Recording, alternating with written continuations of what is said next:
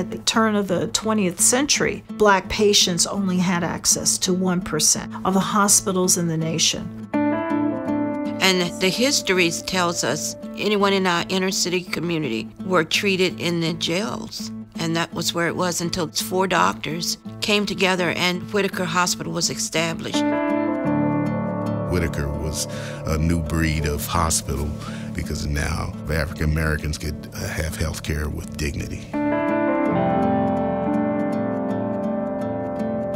It also became a training ground. There were no white hospitals that allowed blacks to come and be interns or residents, but there was a tremendous need.